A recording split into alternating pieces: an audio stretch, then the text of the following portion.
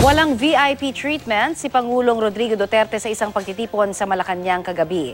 Matyagang pumila ang Pangulo kasama ang kanyang mga batchmates sa San Beda para makumuha ng hapunan.